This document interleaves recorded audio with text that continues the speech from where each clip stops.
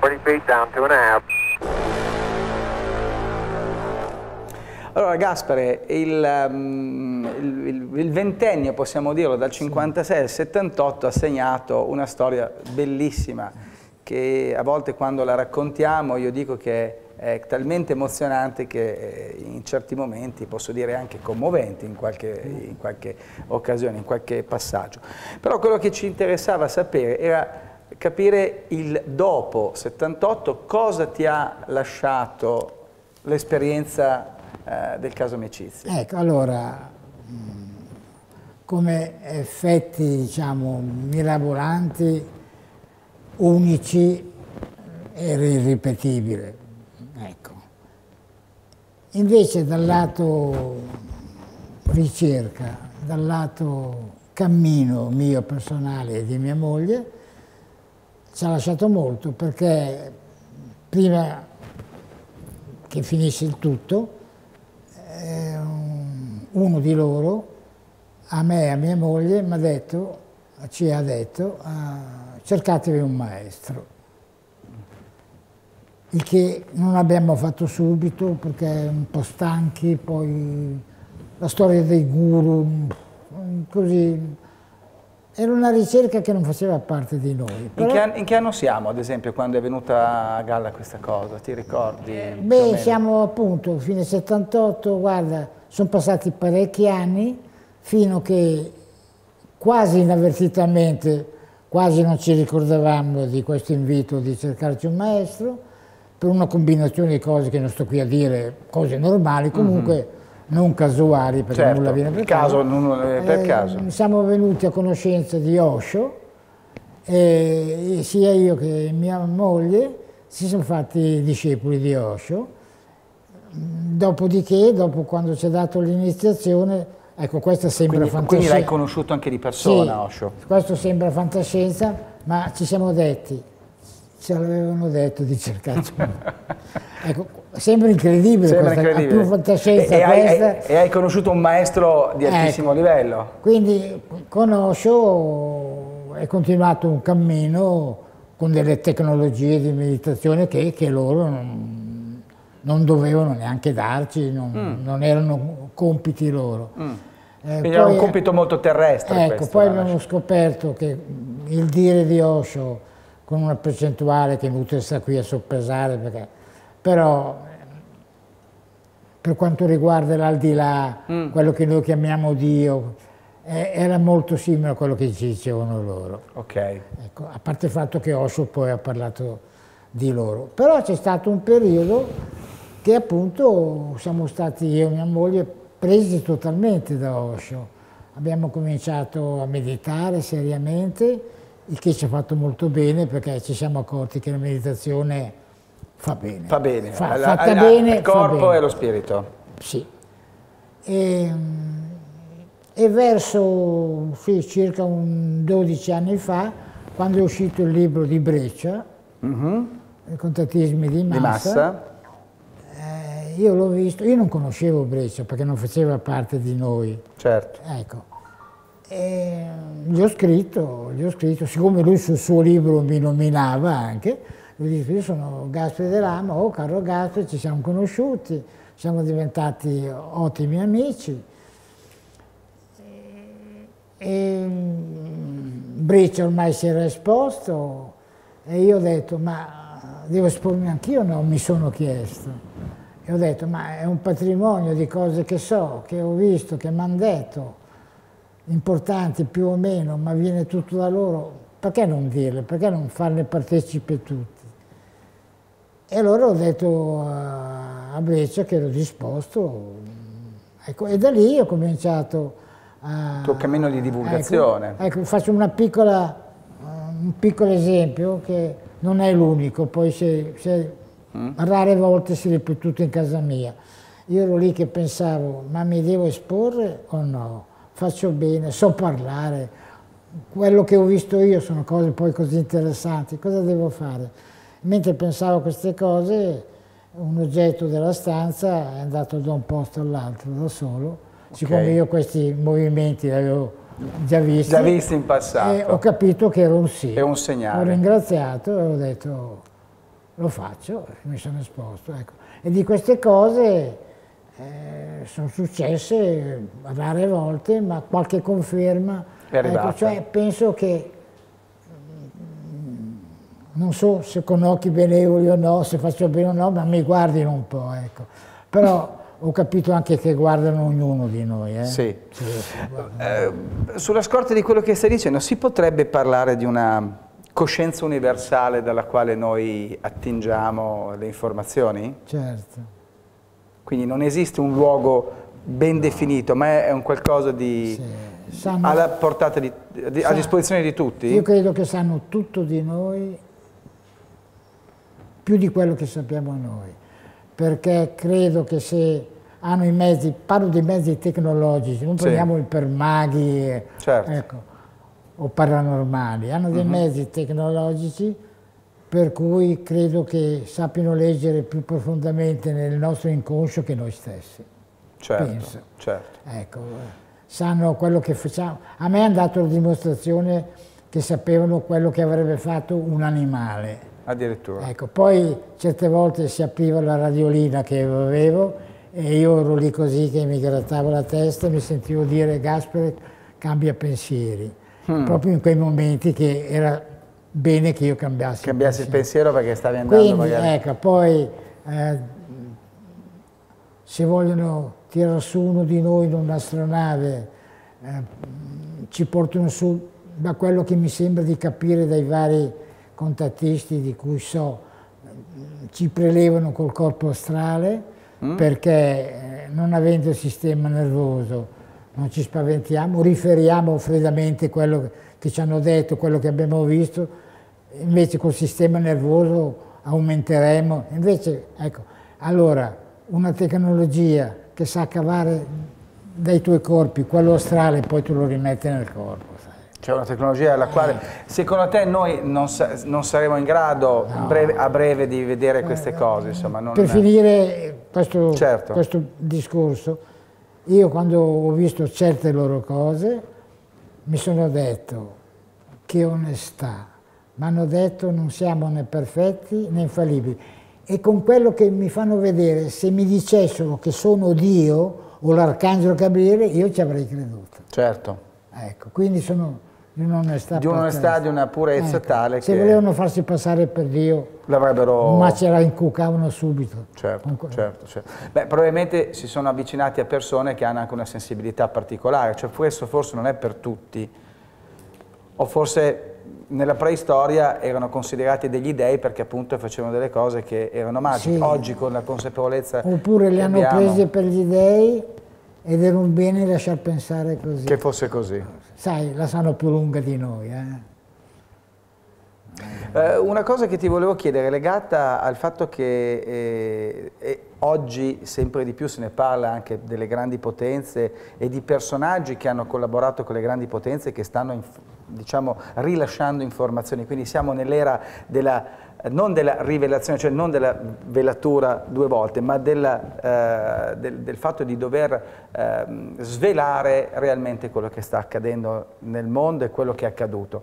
Eh, secondo te ci sarà a breve un'apertura tale per cui anche l'uomo sarà in grado di ehm, accettare con molta tranquillità, come hai fatto tu, un insegnamento di questi maestri? Penso di sì, non so quantificare il tempo, gli anni, cioè io mi metto anche nei loro panni, ma pensa i grattacapi, le preoccupazioni che hanno dovendo svelarsi, scendere e una volta giù, qui cambia tutto, mm. obbligatoriamente, in meglio, ma cambia tutto. Quindi tutta la gente dirà loro, c'è un Dio, come, cosa credete? Di conseguenza c'è un, un, balzo di vedute e una caduta di quasi, di, quasi, di tutte le religioni terrestri. Chiaro. Allora, ci sono milioni e milioni di persone in buona fede che si stanno realizzando attraverso il buddismo, attraverso il cattolicesimo. Pensa a togliere sotto i piedi di queste persone che si stanno realizzando il terreno. Ma pensa alle preoccupazioni. Lasciamo stare quelle materiali, economiche. Ma solo il, il credo verrebbe a meno. Ma è una preoccupazione non da poco. Non da poco. Non da poco. Quindi secondo te loro si sono posti questo, questo, Ma, questo, questo che poi è un dilemma anche probabilmente. Sì, me lo sono tipico. posto io, voi che non se lo siano posti loro. Certo.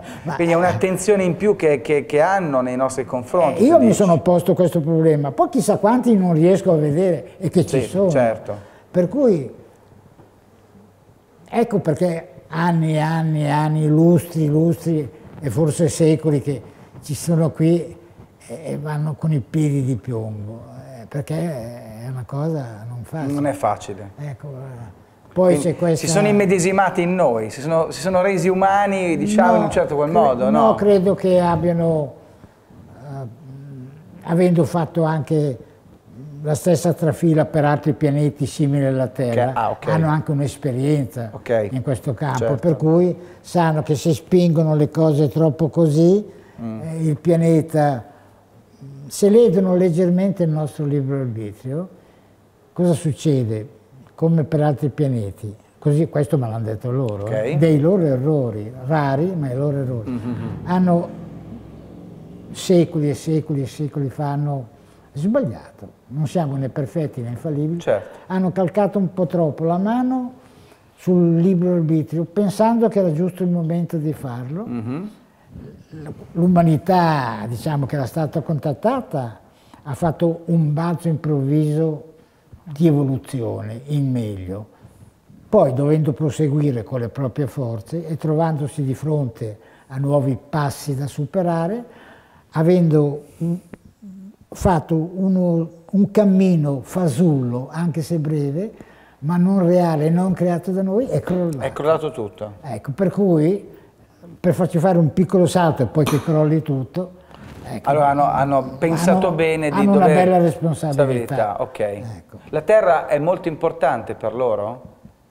Cioè che importanza ha la, il nostro pianeta a livello galattico? Dunque, a livello umano penso che abbia l'importanza di tutti i pianeti abitati. Uh mhm. -huh. A livello pianeta è tutto è animato, tutto è vita, anche i pianeti sono vita, hanno un'anima, tanto per intenderci. Il pianeta Terra, così mi hanno detto, è uno dei pianeti rari, rari tra virgolette perché poi nella galassia a detta dei nostri scienziati astrofisici, quindi piedi per terra, uh mhm. -huh. quello che hanno detto la nostra scienza, finora nel nostro universo hanno contato, tra virgolette, ipotizzato 22 miliardi di galassie. Hmm. Figurati i pianeti che ci sono. Per cui anche se il pianeta Terra è un pianeta raro per una certa faccenda che adesso dirò, uh mhm. -huh. non è più raro di fronte a queste a cifre. Tutti questi numeri che sono Però la percentuale, non so, uno su mille come la Terra, uno su cento, uno su diecimila, non lo so. Uh -huh. Però mhm. la Terra ha una particolarità, che è un pianeta che non dà, come tutti gli altri che hanno vita, solo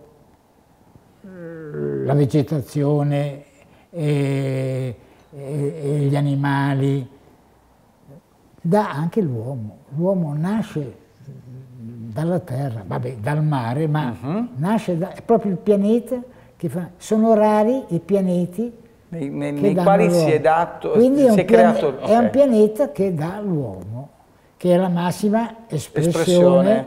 Ecco, vivente, vivente ecco, tutto un'anima anche con la formichina ah, sì, sì, lì ah, sì, certo, certo. Però, il sasso ha un'anima, ecco, via tutto. Però l'uomo è la massima espressione di un, di un contenitore d'anima dei, dei, pianeti. Dopo l'uomo può diventare un superuomo, certo. può diventare un angelo, può diventare un dio, ma eh, ecco. Generato dalla madre La Terra, eh, molti pianeti danno gli animali, la vegetazione e non danno l'uomo. La Terra è uno dei pochi, diciamo pochi in maniera un po' così...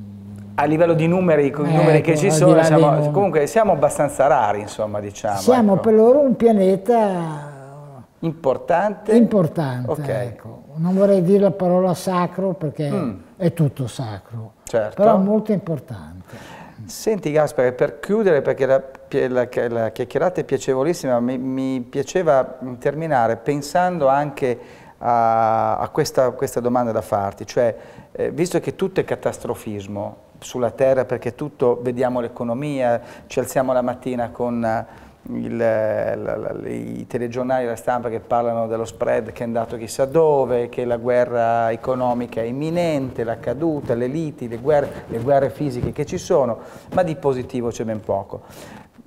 Io invece personalmente penso invece che eh, ci sia un, un, futuro bello per la Terra. Questo possiamo anticipare qualcosa, possiamo dire se ci sono stati dei segnali in, in seno a questo argomento Dunque, per la vita guarda, della Terra? Eh è questione di fiducia. La parola fiducia c'è sul dizionario. Uh mhm. -huh. E quando la diamo? A chi la diamo? Uh mhm. -huh. A quel momento bisogna dare fiducia all'esistenza. Allora, in questo momento la Terra apparentemente è orrenda, quello che succede. Però, appunto perché è brutto, c'è una reazione. Mm. Il brutto serve a una reazione. Ci sono tante um, profezie, le profezie sono tutte in negativo, mm. ma le profezie sono tutte in negativo calcolando che noi si continui così. Invece sta in noi cambiare.